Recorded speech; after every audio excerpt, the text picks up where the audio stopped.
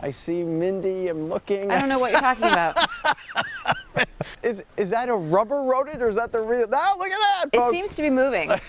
And she's not freaked out about this. We got to get some snakes. that looks like a metro uh, rat, Mindy, like a big one you'd find in the sewers of New York. Well, look at the tail yeah, on that's that that's thing. where I uh, found her was the sewers of New York. But we have two now. So Pudge is right here, kind of hanging out uh, on And we my just neck. found these in the rafters, and Mindy named them this morning. Yeah, and then Ello is uh, hanging out as well. so. and she found those uh, in our prop storage. So this is where we're at now. Mindy paying up on a bet that we do she have a lot of food around the newsroom, Sure so we do. it kind of, you know, rats kind of just a white one and a gray one. They were inside Yes. her blouse. Yeah, they they She had to like get them out.